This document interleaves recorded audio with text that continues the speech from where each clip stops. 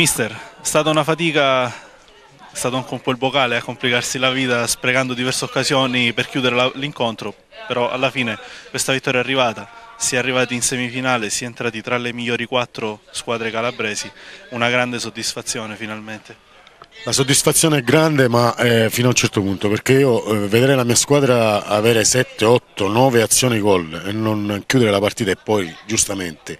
lasciamo la partita aperta con un gol preso poi negli ultimi minuti dà un po' fastidio. Anche perché macini gioco, fai azioni e poi alla fine non sei concreto, non sei cinico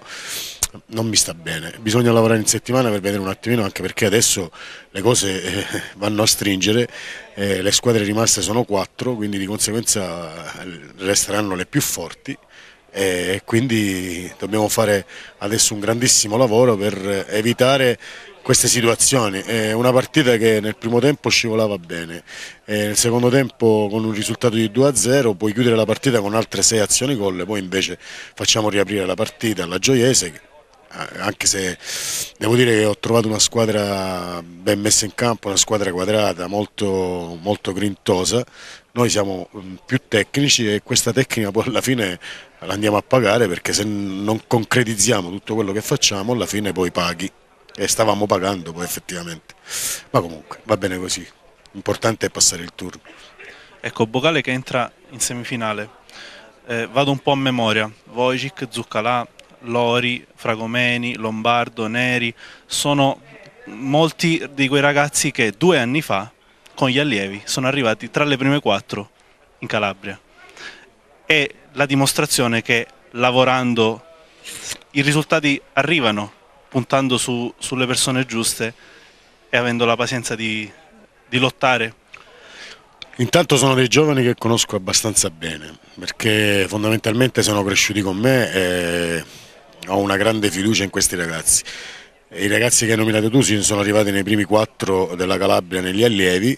ma... Eh, Dimenticavo Caroleo e Falcone, se non sbaglio, c'erano anche loro. Caroleo, Falcone, ma voglio anche citare eh, ragazzi che sono stati oggi titolari eh, 2002, i Megale, Ivono, eh, gli Scaramozzino, i Polimeni che stanno dando delle grossissime soddisfazioni veramente. Un serbatoio diciamo brillante, un serbatoio che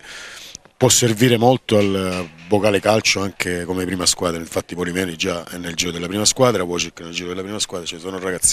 sono ragazzi per me molto ma molto ma molto interessanti, certo il sacrificio, il lavoro paga, bisogna continuare a lavorare, eh, siamo qui per questo, per lavorare. Un'ulteriore vetrina ci sarà adesso col torneo delle regioni, ci saranno almeno 4-5 ragazzi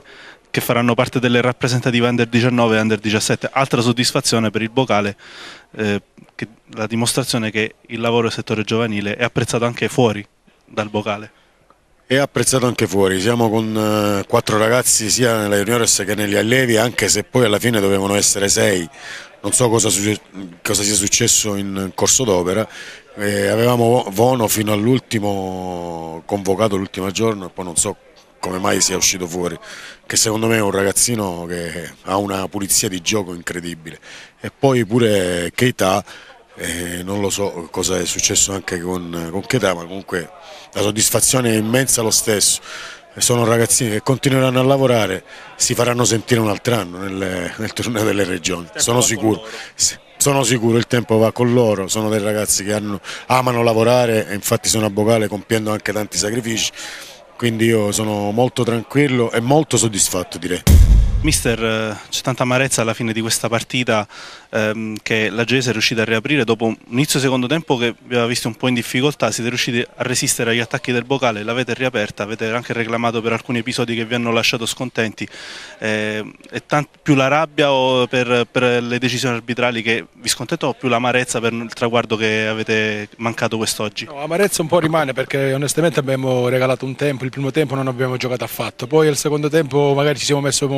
meglio in campo, eravamo più quadrati, poi ci sono stati degli episodi che voi con le telecamere potete vedere che ci sono netti tre regole, però purtroppo il calcio è questo e alla fine conta il risultato. Però devo dire bravi ai miei ragazzi che hanno fatto un secondo tempo proprio degno delle, de, de, di quelli che sono, che sono ragazzi eccezionali, che hanno dato tutto in campo, lottando fino all'ultimo minuto, per me moralmente abbiamo vinto.